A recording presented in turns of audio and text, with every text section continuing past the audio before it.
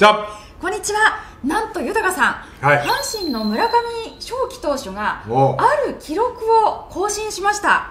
なんだそれ。これあのウィップと言いましてあー1イニングあたり何人の走者を出したかを示すものなんですが、はい。はい。このウィップを0.741として、はい。1950年の2リーグ分立後以降の最高記録を更新と更新中なんだよね。え更新いや中です。もう多分投げないと思うわあもういあの防御率が確定してるし確定っていうかまずしましたね。ほぼはい。確定の状態であるし、はい。規定投球回数にいってるから、はい。多分もうねはい。タイトルを取らすために、はい。まあ打たれないとは思うけど、はい。まあ安全を期して、ん。多分投げさせないとは思うけどね。ということはじゃあこのウィップの0.741も達成ということになる。歴代1位になるの？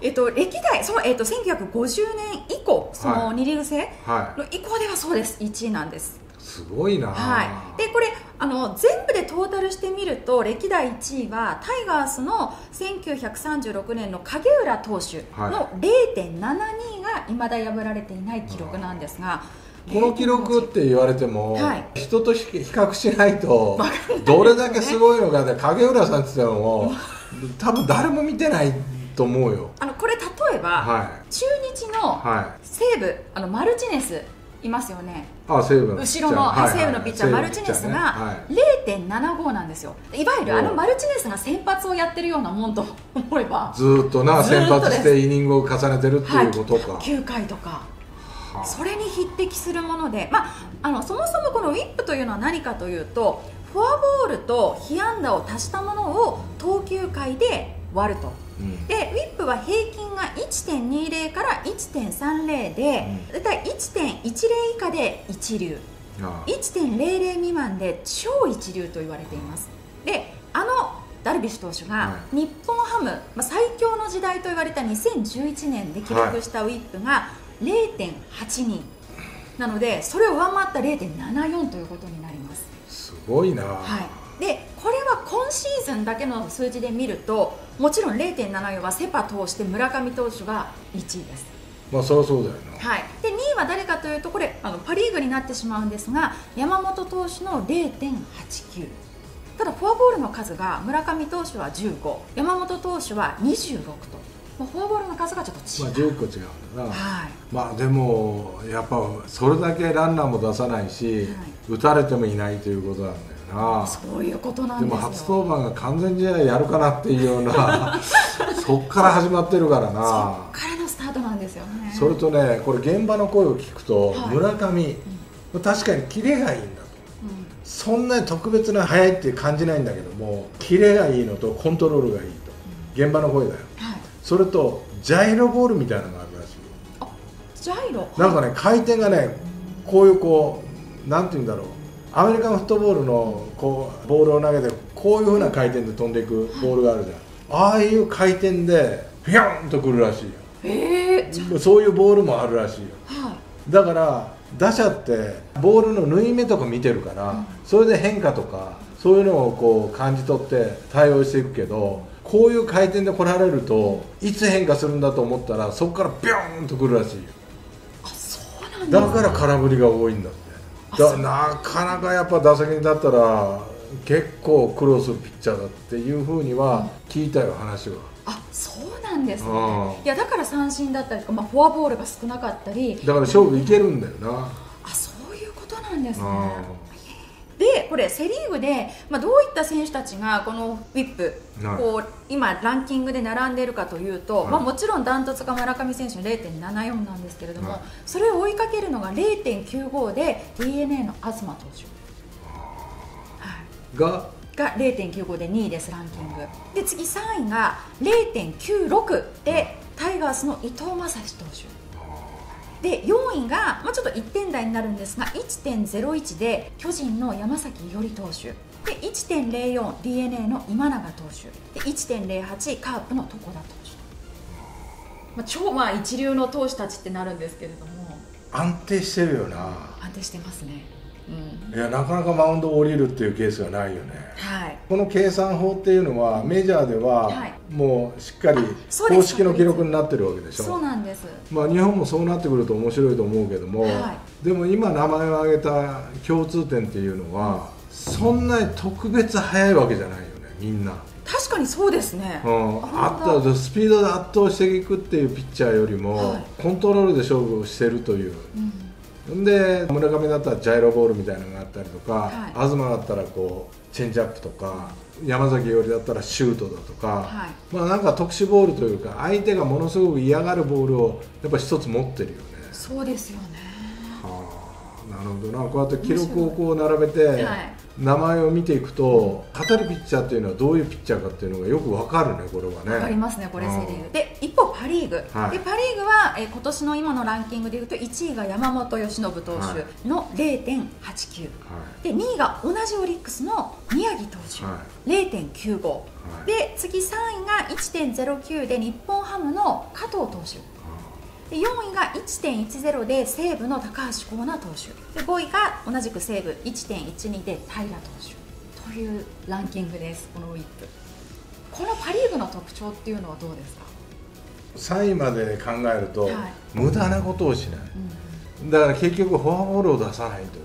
はい、そうですねまあ、うん。無駄なことしないよね、はでパ・リーグもそうだしセ・リーグも、やっぱ村上もフォアボールなかなか出さないし、東なんか本当出さないからねフォアボール。まあ、だから必然的に塁に出ないってことですもんね。でパ・リーグの3位にランクされてる加藤。はい。もう本当フォアボール出さないよね、だからいかに無駄を省くかということがこの数字を上げることだろうし、はい。まあ、打たれないっていうことも条件の一つではあるけども、はい。でもこの計算法っていうのは面白いね。いやもう本当面白いですだねから一つのその選手を育てるのにどういうふうな意識を持たせるとか、い、や加藤にね話を聞いて「お前フォアボールを出さないよね」って言ってたら「いや昔は出してましたよ」って。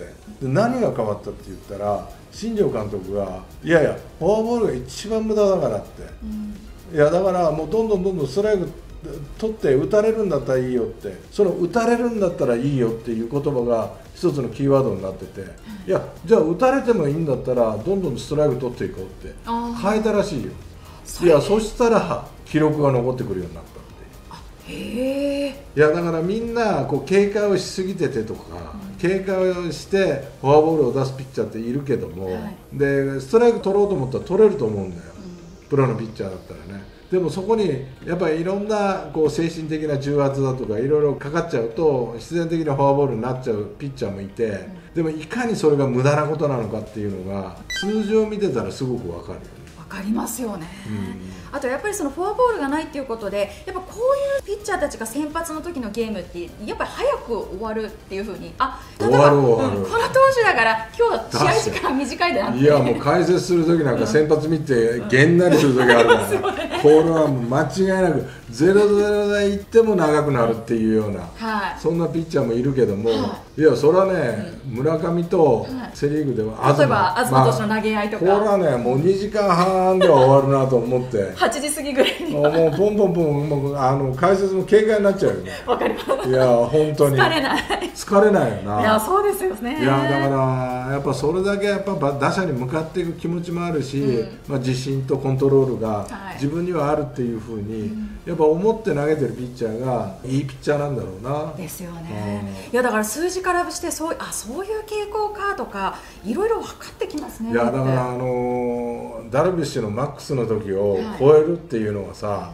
俺の中ではダルビッシュってやっぱもう日本ではもうもちろんナンバーワン。歴代を考えてもやっぱナンバーワン投手っていうのはダルビッシュって、え位置づけしてるんだけども、まあ世界行っても俺はダルビッシュが一番だというふうに思ってて、それを数字的に超えるっていうのが、はい。い、かにすごいことかっていうのが俺はびっくりしたこの数字を見て。ですよね。で唯一超えたのがこの今シーズンの村上頌樹投手だけっていう。すごいなあ。いやすごいですよ。いかに安定してるかっていうことだよ本当ねですよ。あの本当今年出てきた投手ですからね、うん。中でも見てもやっぱり。いやそんなに大きくもないしな。はい。そんな角度があるわけではないけども、まあ、ダルビッシュが言ってたようにその投球するリリースポイントを低くして高めに投げると三振率が高くなる。でそれができるピッチャーだよね。やっぱ高めにピョッと投げるもん。あまあ、坂本のリードも確かにいいと思うんだけども、はい。要求に応えられるだけの村上の技術、はい。気持ち持ってるボールもそうだけども、素晴らしいんだろうね。ですよね。これはねやっぱこう旗から見てるとわからないけどもやっぱ打席に入るとよくわかるんだろうな。きっとそうだと思います、だからあのジャイロボールみたいな回転が変なボールがあるっていうんだよ。うん。それが厄介だっていうんだよ。ね、それがある限りはなかなかこの先もうん。あんまり打たれるような打たれないと思うよな。だからねこっから変化すると思うんだよ。やっぱバッターって縫い目見てるから、はい。こうやって。縫い目見てここから変化するって。これが変化しないでボーンと来られると、全部差し込まれる。いやだからいい持ち球を持ってるんですね。まあそうだな。だからまだまだな。んか村上なんか成長していきそうだしね、はい。なあいろんな猛者の中でトップっていうのはな、すごい自信にもなるだろうな、いやまさに本人の自信にもなりますよね、うん。これで、まあね、今年は防御率も、まあ、おそらくもう確定というところにも来てその中でやっぱりこのウィップが歴代をもう更新したっていうところでも。すごいうんな、素晴らしい。過去を振り返ってもトップなんだもんな、はい。もうということはもう新人王決まりだな。ちょっと決まりっぽいいですね。や決まりだよ。これはもう。そうセ・リーグではもう追随許さないよね。そうね。まあ、セ・リーグではねあの中盤までは秋広選手か村上投手かってまあそうだな。出ましたけれどもちょっとこの数字を見るともう群抜いてますいやねちょっと抜いてんな。そうですね。やっぱ阪神は伊藤将司も入ってるんでしょ、入ってますね。いいピッチャー持ってんだな。いや優勝するだけありますよ。はいこれは。それはオリックスだってそうだもんな。山本由伸そう宮城って続くんでしょツーがはい。すごいなこれもそれも右左って持ってるっていう。いやそうです。阪神もそうだよ右左。そう伊藤将司投手左なので、あはあこれはぜひとも日本シリーズで見ないとな、い、見たいですね。このこの両者の対決は、まあクライマックスあるけどな。まあまあまあまあ一バスありますけども。あ。確かに見たいです。そうだな、はい